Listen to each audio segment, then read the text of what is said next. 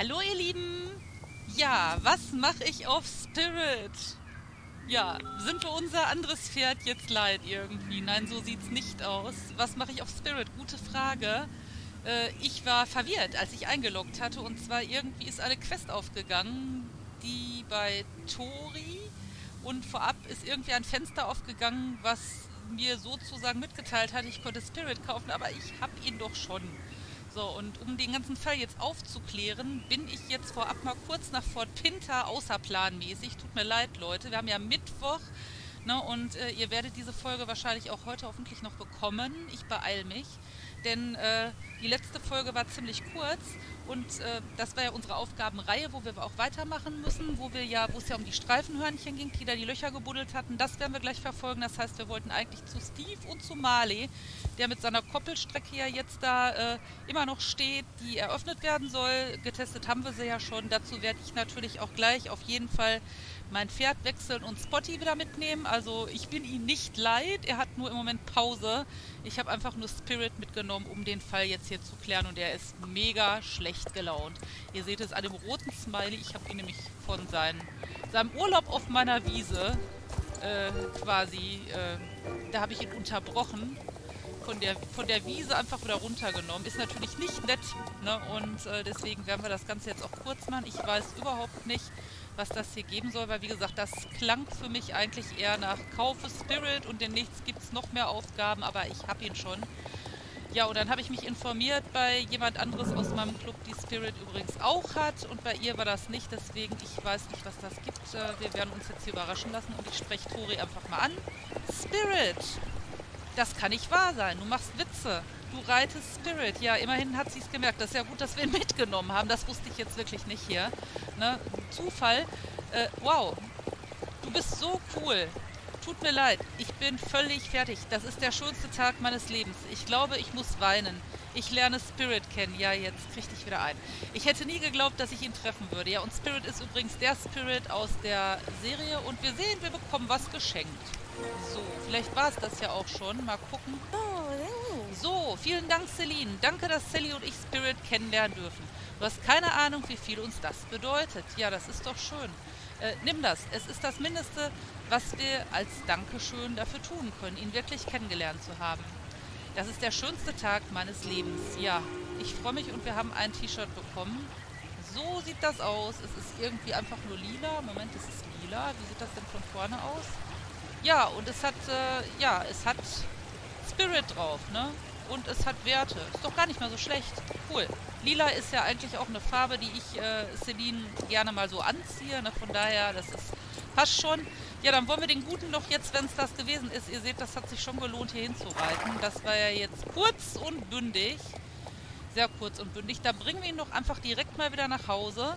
Ich werde zurückporten, ihr Lieben, und wir sehen uns gleich mit... Äh, unserem Spotty, den ich auch mittlerweile gelevelt habe. Er ist nicht mehr ganz so lahm. Mit dem sehen wir uns jetzt gleich bei Mali als erstes wegen der Koppelstrecke. Und dann gehen wir bei Steve vorbei und gucken mal, was das gibt, bevor wir uns dann den Update-Neuerungen vielleicht noch zutun werden. Denn ich denke, das wird wieder kurz werden, sodass ich auch einen kurzes, kurzen Blick ins Weihnachtsdorf werfen kann. Denn auch da ist eine neue Quest aufgetaucht. Ich bin gespannt, um was es da geht. Und es gibt ein neues Pferd. Das gucken wir uns natürlich auch noch an. Bis dann! Ja, ihr seht, ich bin schon kurz vor Steves Farm. Übrigens, äh, ab heute gilt es auch, äh, gilt auch dieser Weihnachtskalender von SSO. Man konnte ein Türchen öffnen. Äh, das sieht man, wenn man in seinen Account einloggt. Ne? Da sieht man dann direkt, äh, man bekommt aber auch direkt, wenn man einloggt, äh, gibt's, führt da eigentlich einen Link zu. Man muss halt ein bisschen lesen. Es lohnt sich ja mal auf die Neuigkeiten zu achten. Ganz interessant, äh, und zwar, ich werde nicht verraten, was es gewesen ist. Es lohnt sich selber einfach mal reinzuschauen. Äh, vielleicht spielt er ja das Spiel auch inzwischen, kann ja sein. Und äh, falls nicht, ja, fangt doch einfach an. Ne? Ich meine, wie gesagt, es lohnt sich, einfach mal reinzuschnuppern und äh, ist echt ein schönes Spiel. Also der Kalender, der geht noch bis zum 31. Ist seltsam, ich weiß. Er hat halt am 12. angefangen und geht bis zum 31., also bis nach Weihnachten. Das heißt, ihr habt noch nichts verpasst. Und falls man es nicht schafft, jeden Tag einzuloggen, dann sind, glaube ich, die ganzen, also die meisten Sachen, so stand es auf der Seite, sind bis zum 7. noch abrufbar. Bis zum 7. Januar Mitternacht stand da. Und ähm, ja, Aber das könnt ihr selber auch nochmal nachlesen. Na, wenn ihr auf die Seite geht, da steht es nochmal ganz explizit, was da gemacht wurde und auch was in den Updates ist. Jetzt rede ich erstmal mit Marley. Der hatte uns ja hier gestern nach Hause geschickt sozusagen. Hm.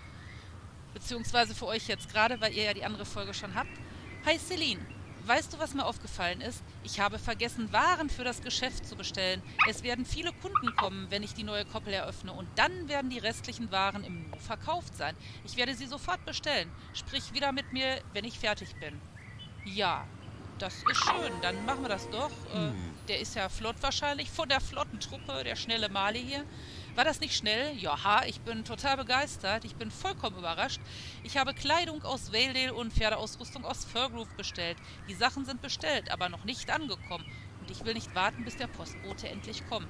Und da kommst du dann ins Spiel. Ja, das ist doch super. Und das Tolle ist ja, dass wir direkt nach Valedale porten können, immer noch. Weil wir da wohnen. Ja, und ich weiß, dass die hier irgendwelche Zäune in Silverglade überarbeitet haben. Da müsstet ihr mal drauf achten, wenn wir hier vorbeisausen, ne? Also äh, die machen ja ständig was am Spiel. Ne? Die Leute von Star Stable und die geben sich hier richtig Mühe. So.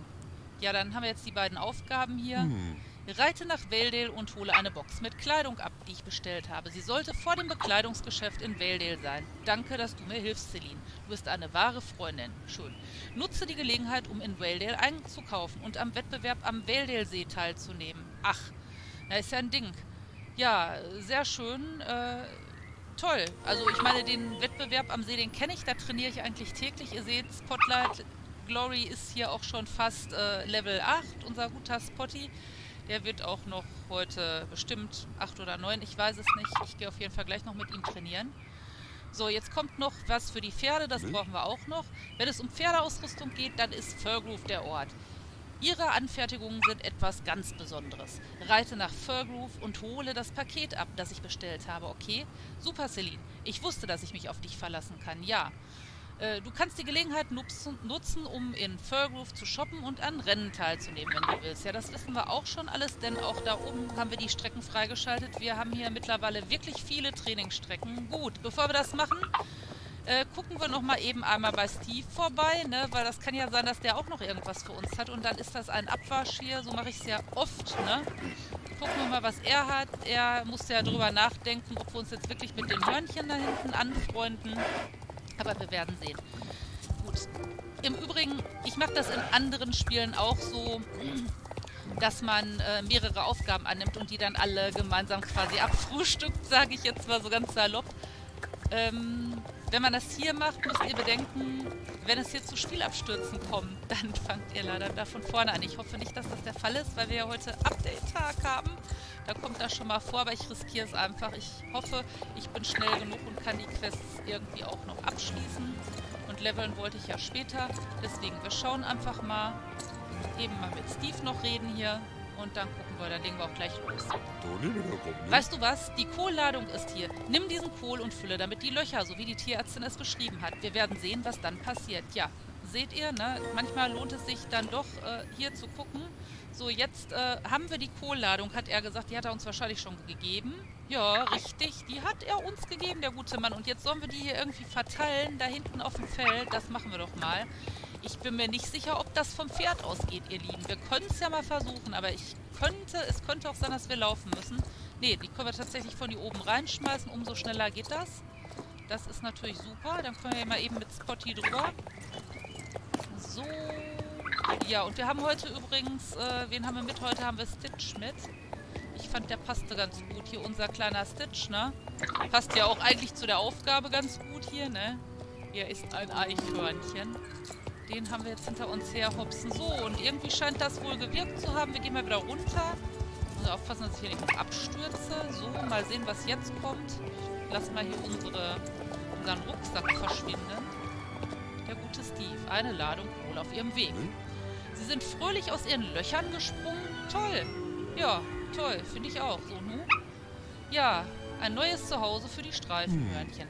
Was hältst du davon, sie hinter der Scheune wohnen zu lassen? Vielleicht in der Ecke, wo die alte Mauer ist und das Rennen startet. Dann müssten wir nicht immer so weit laufen, um sie zu füttern.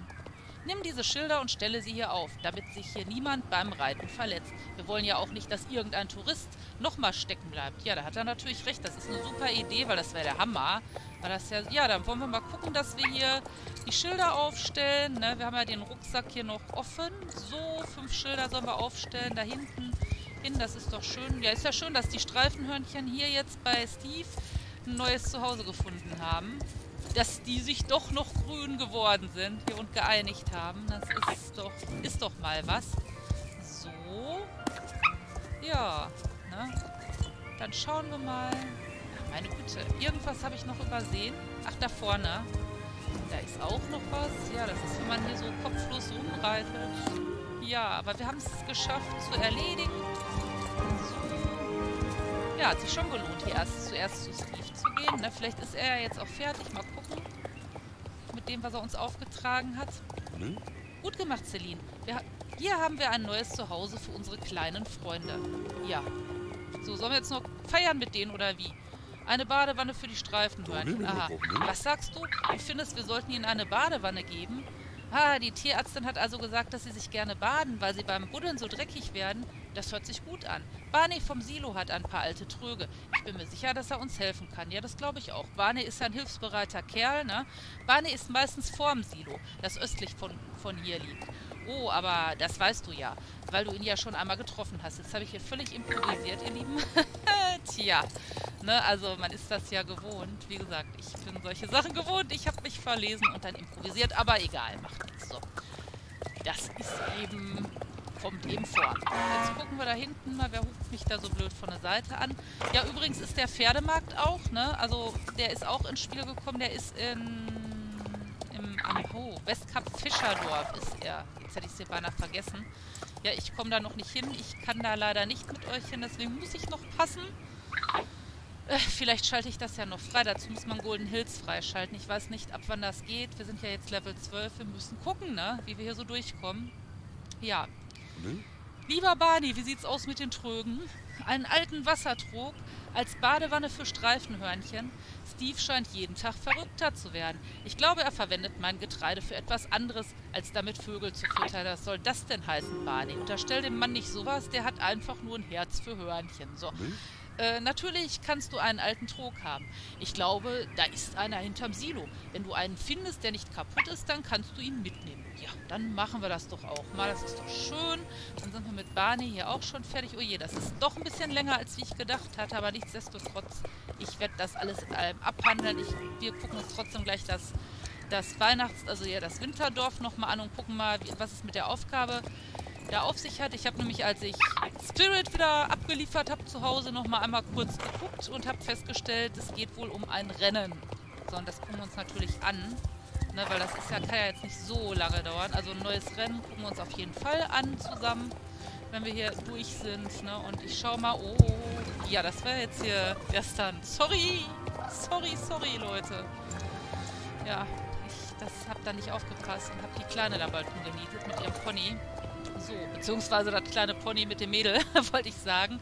Mhm. Ähm, das ist ein toller Trog, ja. Der gute Barney, der hat hier uns die Möglichkeit gegeben, ne? Ja, hm. stell ihn einfach hier hin in das zukünftige Haus der Streichenhörnchen, Streifenhörnchen, der Streichenhörnchen. Ja, das ist auch mal eine Möglichkeit. Naja, dann machen wir das doch auch noch so. Mal die Streifenhörnchen so. Und jetzt ja, was müssen wir denn jetzt machen mit den Hörnchen? Vielleicht kommen die jetzt von selber. Müssen wir vielleicht hier rüberlocken. Oder kommen die jetzt von selber? Ich weiß es nicht. Ich habe keine Ahnung, ihr Lieben. Wir werden es gleich erleben. So, Inneneinrichtung. So, fertig. Ja, schön. Finde ich gut. Und jetzt? Einweihungsparty. Ich habe doch gesagt, es gibt noch eine Party. Ich lach mich weg, ne? Ich habe nur gesagt, vielleicht noch eine Party für die Kleinen hier. Ja, gute Idee. Nimm den Rest des Kohls und verteile ihn im neuen Zuhause der Streifenhörnchen. Dann werden wir sehen, ob es ihnen dort gefällt. Ja, da bin ich ja mal gespannt, was die machen. Die gehen wahrscheinlich jetzt hier gleich steppen steppt der Bär mit den Streifenhörnchen. Ja, der Bär lieber nicht, aber die Hörnchen steppen hier vor sich hin und machen Tänzchen oder wie? Ja, werden wir mal sehen. Ich meine, zuzutrauen wäre denn das hier von SSO. Die haben immer solche Ideen. Und, ja, die hüpfen jetzt mit Dampf aus den Löchern und supi. Herrlich, ja, das ist doch niedlich. Ja, auf jeden Fall haben sie ja erstmal schon mal neugierig rausgeguckt. Ich glaube, wenn die so gut umsorgt werden hier, dann hauen die auch so schnell nicht mehr ab. Oder wie seht ihr das? So, Einweihungsparty. Hm. Toll, wie schnell Sie hergekommen sind. Ich glaube, Sie mögen dich und den Kohl sehr. Ich hoffe, dass Sie hier glücklich werden, so dass niemand mehr in Ihre Löcher fallen muss. Danke für deine tolle Arbeit. Du kannst zurückkommen und mir dabei helfen, sie zu füttern, wenn du willst. Ja, das ist doch toll. Wahrscheinlich müssen wir das jetzt auch noch machen eben. Celine, fast hätte ich vergessen dir zu sagen, dass die alten Löcher der Streifenhörnchen noch aufgefüllt werden müssen. Sie sind zu gefährlich. Nimm diesen Spaten und fülle sie auf. Wenn du zurückkommst, werde ich eine tolle Belohnung für dich haben. Ah ja, alles klar. Und wir kriegen dann, wenn wir wiederkommen, kriegen wir eine schicke Hose oder auch nicht. So, ich sehe das jetzt gerade mal gar nicht. Moment. Was ist das? Oh. Ja, lila, ne? Der letzte Versuch. Wunderbar, schön. Ach, sie ist ja hier sowieso immer in lila und so weiter, ist hier auch gekleidet. Also Egal. Ne? Lilane Hose nehmen wir auch noch mit. Keine Ahnung. So, jetzt dann wollen wir mal gucken, dass wir das hier auffüllen. Kann man das auch von oben wieder? Kann man das hier wieder... Nein, wir müssen absteigen. Oh, schade. Ja gut, dann, dann, äh, dann gehen wir mal hier aus der Schusslinie. Oh je, hier ist die Rennstrecke, ne? Der arme Spotty, der wird jetzt hier gleich erstmal umgenietet. Deswegen stelle ich den da oben jetzt erstmal hin. So, da kann er jetzt dumm rumstehen. Ja, und sie scheint dieselbe Aufgabe zu haben hier hier vorne. Das sieht ganz so aus. Wir machen hier wahrscheinlich das gleiche. Na egal, wir gucken jetzt einfach mal mit dem schönen Friesen. Ach ja, mein Friese, ich freue mich auch schon drauf, wenn ich mich da draufsetzen kann. Aber irgendwie vermehren sich bei mir ständig die Pferde. Ich habe ja jetzt auch schon das neue Pferd gesehen. Das ist nämlich abgebildet, wenn man einloggt, Leute. Und ja, ich glaube, das nehme ich auch noch mit. Ich, ich bin ja hier sowieso mitten bei der Sammlung. Von daher ist das auch egal. Ich habe mir auch schon überlegt, wie ich es nennen könnte. Hoffentlich ist der Name noch frei. Mal schauen. Werden wir gleich sehen. Und ja, sie summieren sich, ne? Und ich mache das auch immer so, so wie ich die kaufe, so reite ich die auch. Also in der Reihenfolge. Das heißt, das dauert. Ihr seht die neuen Pferde noch nicht so schnell, weil da sind nicht noch etliche andere davor. Ja, so ist das. Ne? Hätte ich mir jetzt auch nicht träumen lassen, als ich hier angefangen hatte, dass ich da auf einmal in so einem Pferdekauftick äh, äh, ende. Obwohl, naja, wie gesagt, vielleicht doch, ne? Vielleicht äh, doch. Man kennt das schon. Also wer mich kennt, wer mich jetzt wirklich privat kennt, der weiß, dass sowas meistens so endet. So, jetzt reden wir mal mit Steve. Repariere das Feld. Haben wir gemacht. Danke. Wir sind vorerst fertig. Wir müssen abwarten, ob weitere mysteriöse, süße Tiere auf meiner Farm auftauchen. Falls ja, weiß ich, wen ich anrufen muss. Vergiss nicht, dir einen schönen Tag in Silverglade zu machen, Celine. Ja, wunderbar, das werde ich auch tun. Juhu, und die Streifenhörnchen sind da. Ich habe meine Hose. Ja, guck, jetzt haben wir schon mal ein T-Shirt und eine Hose. Es wird ja mal mehr. Wir haben hier voll die Kleidersammlung, Leute. Und jetzt müssen wir, wo müssen wir denn hin? Wir müssen nach Valedale. Ich mach's mal kurz. Wir porten und dann müssen wir nach Furgrove, wo wir hinreiten werden. Tja, aber auch das werde ich abkürzen. Also, sehen wir uns jetzt gleich erstmal in Valedale wieder. So, hier sind wir. Man landet dann immer vorm Stall, wenn man portet. Das ist immer witzig, ne? So, jetzt müssen wir nur mal gucken. Hier irgendwo ist es eingezeichnet vor dem Shop. Da hinten, da sehe ich es auch schon leuchten. So, das ist, sind hier unsere Klamotten. Die müssen wir mal mitnehmen. Ja, Nummer uno. So, und jetzt geht's noch ab nach Furgrove, ihr Lieben. Sollen wir wirklich reiten? Ja, komm, wir reiten. Ich reite immer so gerne mit ihr. Ich blende das ein, wenn ich da ankomme. Äh, ich glaube, die Strecke am See sind wir schon lang geritten. Ne? Die kennt ihr, genau. Die kennt ihr. Ist ja nichts Neues für euch. Ja, dann sehen wir uns dann gleich in Furgrove. Und äh, bis gleich. So, jetzt sind wir hier auf jeden Fall in Furgrove um die Ecke gerauscht. Jetzt hätte ich hier fast schon wieder den Einsatz vergessen. Das ist, wenn man hier so rumreitet. Und ich habe mich schon wieder gewundert, weil ich glaube, die Aufgabe von gerade bei Tori ist schon wieder aufgetaucht. Ich weiß nicht, ob das ein Bug ist. Leute, ich weiß es nicht. Ich bin aber geneigt gleich mal. Und hier sind die Kisten. Kurz mal einmal in Fort Pinter vorher nachzugucken. Wenn da was ist, dann seht ihr es. Wenn nicht, dann sehen wir uns jetzt gleich hier irgendwie äh, definitiv bei unserem Steve, der ja auf die Lieferung wartet. Na, deswegen nehme ich jetzt einfach mal den Hänger. Ja, Leute, und ich bin auch schon wieder auf dem Weg zu Steve. Ne? Ich habe jetzt wirklich nochmal in Fort Pinter geguckt, weil mich das total irritiert hatte, ihr Lieben. Äh, das war aber auch die, derselbe Aufgabentext von davor, ne? Und äh, es war ein Bug, ne? Also wie gesagt, äh, die gute Tori hatte nicht nochmal ein Ausrufezeichen über dem Kopf und war auch nicht anklickbar oder sowas. Äh, das war tatsächlich, äh, das steht immer noch im Questbuch drin, das wird wahrscheinlich dann raus sein. Ja, vielleicht beim nächsten Einloggen. Ich, ich weiß es nicht. So, jetzt gehen wir aber erstmal hier zu Steve und geben die Brocken da ab. Ach nee, zu Steve sage ich schon. Zu Marley, zu dem guten Marley. Mal sehen, damit er hier klarkommt. So, Kleidung für die Kunden. Hm. Super, spitze. Bald können wir wirklich eröffnen. Jawohl, das freut mich doch sehr. Fantastisch. Jetzt habe ich genug Ausrüstung für mein Geschäft. Ja, sehr schön. Und jetzt muss er erstmal wieder drüber nachdenken. Das passt mir aber super gut in den Kram, weil meine Güte, ist das eine chaotische Folge heute, Leute. Es tut mir echt leid. Glücklicherweise ist da hinten und nicht über Stitch laufen hier, nicht über Stitch. Glücklicherweise, was hat sie denn? Warum ist sie traurig? Ja, aber das ist wahrscheinlich das, was ich meinte, Rollenspiel. Manchmal spielen die hier Reiterhof, habe ich ja schon mal erzählt, ne? Und das ist, wie gesagt, das Rollenspiel. Dann spielen die Leute ihre eigenen Geschichten nach. Und ähm, ich hoffe, das war gespielt und ich hoffe, sie ist nicht wirklich traurig über was auch immer. So, da vorne steht unser Schlitten. Wir wollten ins Winterdorf, hatte ich euch versprochen. Äh, es kommt jetzt sowieso nicht mehr drauf an und wir gucken uns da auf jeden Fall äh, unseren Questgeber an, der offensichtlich ein neues Rennen hat. Da steht nämlich auch da drin. Dann haben wir wenigstens einen Abwasch und das Pferd zum Schluss und ja, chaotisch, Leute. Hoho, ja, den Text kennen wir auch schon. Wir fliegen Richtung Norden zum Weihnachtsmann. Jawohl, auf geht's. Und ab die Post, der Schlitten fliegt durch den Himmel. Auch das kennt ihr schon. Ach, ich liebe das Weihnachtsdorf hier. Ich finde das so hübsch, muss ich ganz ehrlich sagen. Ich bin so gern da. Ja, und ich kaufe auch immer fleißig alles ein. Deswegen muss ich auch gleich unbedingt, ich muss gleich nochmal hier ganz dringend ausloggen. Jetzt müssen wir erstmal gucken, wo wir hier hin müssen. Leute, ich habe keine Ahnung. Jetzt stehen wir hier oben. Ist der hier oben irgendwo? Ich rufe mal eben die Karte auf. Uiuiuiui. Ui, ui, ui. Oh, Mann.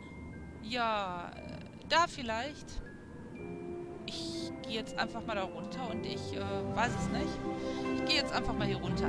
Nein, äh, ich muss gleich ausloggen, wenn ich hier fertig bin. Ich habe jetzt mich echt abgehetzt, um diese Folge hier noch äh, aufzunehmen, weil ich würde die auch gerne gleich noch ja, zusammenschneiden und dann euch äh, gerne... Ja, guckt mal hier unten. Ist gar nicht weit weg, da sitzt er doch. Da müssen wir hin dass ihr das auch noch heute bekommt. Und ja, dann bin ich erstmal beschäftigt und werde später wiederkommen und dann in Ruhe hier mit Spotty die restlichen Sachen machen. Ich mache ja jeden Tag ja meine Aufgaben plus äh, Leveln und so. Weil irgendwoher muss ja die Kohle kommen und ich mache das nicht alles nur über Starcoins, sonst äh, wird das auch echt zu heftig. Gibt ohnehin schon zu viel im Moment aus für das Spiel, aber man gönnt sich ja sonst nichts. Und ne, man muss sich ja auch mal was gönnen. So, jetzt gucken wir mal. Hallo, alle sind pausenlos damit beschäftigt, Dinge vorzubereiten, Kekse zu backen und Dekorationen aufzuhängen, dass sie völlig vergessen, was an den Feiertagen wirklich zählt. Ja, was denn? Ja, ganz genau. Hohe Geschwindigkeiten. Aha. Ich habe einen Reitweg durch das Dorf angelegt, damit dich jeder vorbeirauschen sehen kann. Und keine Sorge, wenn dir irgendjemand im Weg steht, äh, das ist die Person dann selbst schuld. Ja, so, und da hat sich jemand direkt verwandelt da hinten. Worauf wartest du? Schwing dich in den Sattel. Ja, dann machen wir das doch mal. Galoppiere durch das Winterdorf. Ich bin gespannt. Das ist ja cool. Also wir haben ja schon zwei. Wir haben eins auf dem See und eins von hier oben. Mal gucken, was das jetzt ist. Juhu. Ab die Post und erstmal hier runter. Oh je, äh, da bin ich aber jetzt hier im, in Begleitung oder wie? Ach lieber Himmel. Okay, mitten durchs Dorf. Äh, ja. Ja, wie jetzt? Ach, du meine Güte. Jo, oh je. Ich habe schon wieder den Durchblick hier gar nicht. Nein. So. Oha. Ach du meine Güte. Ach du meine... Oh, oh. Also nee. Also das, das nenne ich mal rücksichtslos, Leute. So kann man doch nicht reiten. Habe ich den jetzt umgenietet? Nein. Äh, voll in das Rentier. Ja, schön, Leute. Oh nein. Wie ein Berserker rauscht unsere Celine hier irgendwie quer durchs Dorf. Und jetzt... Ich nehme mal an, man muss hier auf diesen glitzernden Dingern bleiben. Sonst, äh, oder? Was weiß ich. Hier sind ja auch die Kurven, die sind ja ein bisschen angezeichnet. Und nein. Ach du Schande. Ich dachte schon... Ja, das habe ich gewusst, ne? War ja klar. Irgendwas musste doch jetzt noch schief gehen. So, und dann gucken wir mal, dass wir gut in der Zeit bleiben. Ja, und jetzt? Wo denn jetzt? Ach, da unten. Ach nein, du meine Güte. Und... Uiuiuiui. Ey, was ist das denn für eine Strecke? Der gute Mann hier. Was macht der denn hier? Was tut er uns denn an? Und was ist das hier? oh. Oje. Oje, oje. Hier sind ja nur Hindernisse unterwegs, ne? Oh je, oh je. Also jetzt bin ich doch ganz froh, dass Potti noch nicht so schnell ist. Das hätte ich auch gerne mit Level 1 gemacht, aber mit Level 7 ging es auch noch und das wird sich jetzt direkt ändern, ihr Lieben. Wir werden jetzt aufsteigen. Jawoll. Wir werden eins höher werden hier. Vom Level aufsteigen. Erstmal abgeben. Haha, den hast du wirklich einen Feiertagszauber geboten. Ja, ich hab's ja alle umgenietet. Ich würde mal sagen, ich habe mir hier tausend Feinde gemacht. Jetzt aber, naja, ne, wenn er das gut findet, dann ist ja alles gut. Machst du dir Sorgen, dass du die Vorbereitung gestört hast? Ach was, in diesem Dorf muss definitiv weniger gebacken und mehr galoppiert werden. ja, er ist ja gut, ne? Komm jederzeit wieder für einen weiteren Ritt durch das Dorf. Ja, cool. Ja, äh, verstehe ich das jetzt richtig hier? Und mein Pferd ist natürlich aufgestiegen, so wie vorhergesagt. Das war ja logisch. Und boy, guck mal, ich habe richtig viel gekriegt, ne? Ganz schön Schwung hier, Mensch. Ja, ich muss ganz ehrlich sagen, das ist süß, wenn die hier um den Baum laufen und man dann in der Mitte da tanzen kann. Das ist süß, aber das habt ihr ja schon gesehen. Ja, ich muss sagen, wenn das Rennen drin bleibt, das ist echt witzig. Ne? Hoffentlich kommen da noch mehr Rennen. Das ist ja wirklich cool. Dann hat man die Pferde noch schneller gelevelt. So, wir hüpfen mal hier drüber, denn da hinten habe ich schon... Da hinten habe ich schon das gesehen, was ich gerne sehen wollte. Schaut euch das mal an. Das ist das neue Pferd. Ja, das ist das neue Pferd. Sehr schön. Und, ähm... Ja, hier stehen auch ganz schön viele Leute. Ja, Rasse Jorviksches Urpferd. Ja, das ist natürlich jetzt schlecht. Jetzt könnt ihr gar nichts mehr sehen, ne? Genau, so.